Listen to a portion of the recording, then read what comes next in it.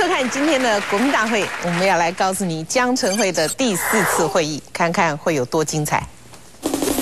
林卓水前立法委员熟悉两岸政治定位，深入剖析江城会的两岸协定及对蓝绿政党所带来的冲击。马凯经济日报总主笔熟悉两岸经贸策略，对江城会协议签订所带来的经济效益有专业的解析。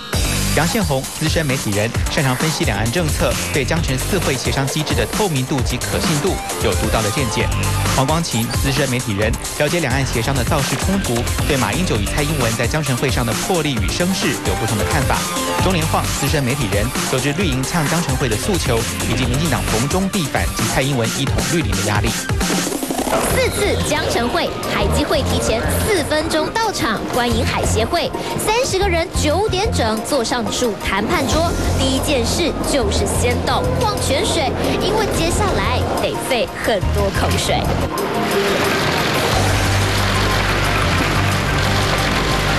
再这边再看一次，来再一次。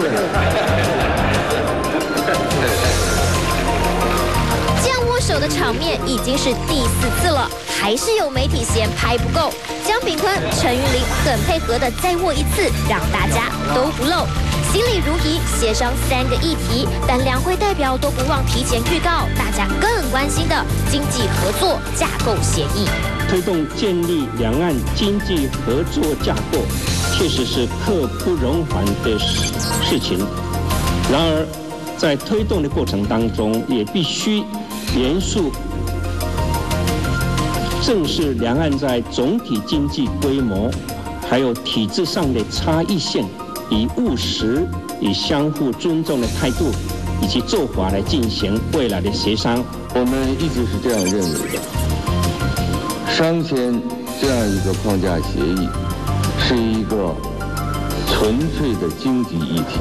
一年多来和一段时间以来，我们两岸的学术机构也对此进行了很多的可行性研究，结论都是互利双赢的。说的都很有信心，但这次会谈发生租税合作协议临时喊卡的意外情形，凸显两岸存在许多差异性。A 克法真的能在江城舞会谈定吗？其实大家都不确定。好，那么今天为了做这一集呢，我刚从公司的大楼的一呃四楼吧哈，我沿途经过的，我要走楼梯上来哈，大概沿途连那个化妆室的人大概有七八个哈，啊不同的部门哈，包括我们今天摄影师哈四五个，那我就沿途问了，我就说，请问你知道江城会的这个这次是第几次的会谈吗？啊，很 很多人知道是第四次，然后。呃，他们最熟的是知道在台中哈，然后连那个啊酒店也有人知道那样子嘿。那至于谈什么内容呢？哎，不知道哈。那跟你有没有什么影响跟关系呢？哎，我们是一般老百姓，我们需要知道吗？哎，也不知道哈。那后来就觉得说，你知道也没有用啊，因为四个变三个嘛，对不对哈？所以它随时会改变。也就是说，其实我很想很想讲的，就是说，台湾的民众对这个会谈内容跟我们的生活有没有关系的影响，其实是应该要关心的。可是很多人是不知道的哈，这样的一个情况。那另外一个，我刚刚讲，我这是昨天的报纸嘛哈，这是财政部登的，竭诚为您服务啊哈。那这个很讽刺，昨天才登这个嘛哈，就是说这次的协议里面有一个叫做两岸租税协议，全民共享利益，OK 哈？为何要洽签？必要性、急迫性，对不对？如何洽签呢？一二三四，怎么弄？怎么弄的？然后两岸租税协议的效应，对台湾企业跟个人，对社会跟全体啊，哇，都是好处。为什么不签？先问一下线头，可以这样开玩笑吗？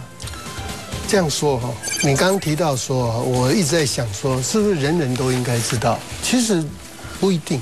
嗯，你就是你自己家里头的事情，你也不晓得你冰箱里头冰什么。但是要吃饭就是要吃饭，就到时候吃饭不能没有得吃，这是人民啊。嗯，啊，那这中间当然牵涉到非常多的专业。嗯，老实说，我不同意江城会里头说这是经济议题。嗯，这本来就是主权议题，不管是从渔业劳务。不然从租税，嗯，不管从产品验证，嗯，或是说农产品，它的所谓的免验或是验这个问题，在在都是 jurisdiction，嗯，jurisdiction 就是管辖权，就是互相都有管辖权嘛，互相能不能减少一些呃程序的障碍，嗯，这个可以谈。可是互相之间有没有办法呃信任？我想问的就是说，这个呃，我们当然没有参与国际谈判了哈。那这个所谓已经江城会第四次会，那坦白讲，这些协议，而且之前都喊出四个协议，suppose 它的正确的程序是什么？民众想问的是说，不是都已经瞧好了，这个只是最后的一个仪式了吗？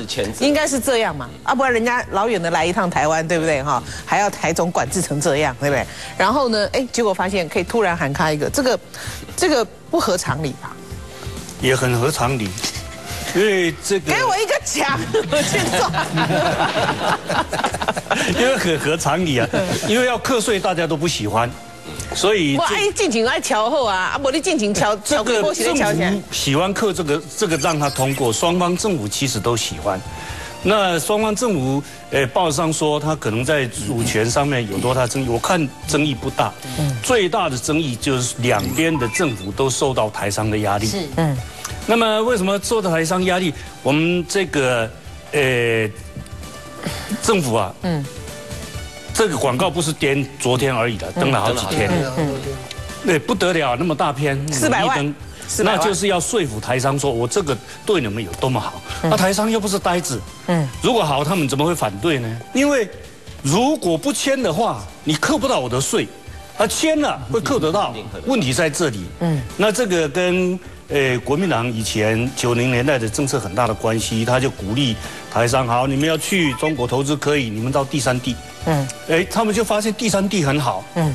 那可以，第三地设一个公司，台湾一个公司，中国大陆一个公司，那个账转来转去，嗯，哎，大陆也赔钱，台湾也赔钱，在巴拿马的公司赚钱，那藏钱就藏在那边了，嗯，所以你看现在，呃，我们台商到底藏钱多少在国外啊？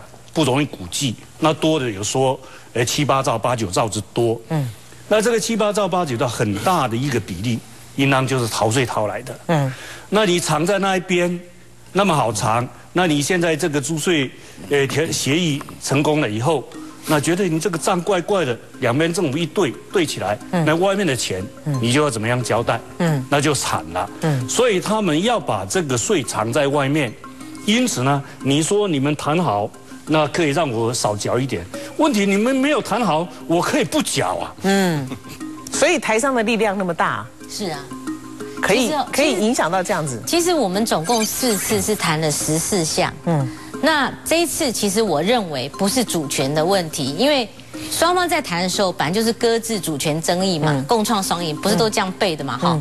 那这次是纯粹事务性，所以在这个利基点上，我认为说事务性，陈玉玲就根本就不应该来的，嗯，哦，你没有必要就是再办这个仪式嘛，哦，每一次都大阵仗，其实第二次那么激烈也是。同样的理由，第二次是谈大三通，你觉得还那个大的议题，你觉得他来还还还有一点正当性哈？那这次纯事务性的四项里面哈，民进党他们做文章的这个租税协议算是小做文章，比较争议性大的他们是做那个农产品检疫跟检验的问题，以及渔工。可是你仔细看他那个内容。渔工还是维持境外，嗯，他是在二十海里作业。他这次只是谈一个劳务合作，嗯，并没有说渔工你要让他上岸剥夺我们这边的这个渔民的生计，都没有这个问题。所以当陈玉玲来把这个事务性议题端上桌以后，就带动那个政治性的一个效应，所以民进党就可以进场，反正要活捉陈云林嘛，嗯，反正共匪来我们都要捉嘛，对不对？是不是这样一个道理？所以就把这个所有的这个带动，所以你你再去考察大家说，哎。哪个议题是怎么样？其实大家并不是很清楚。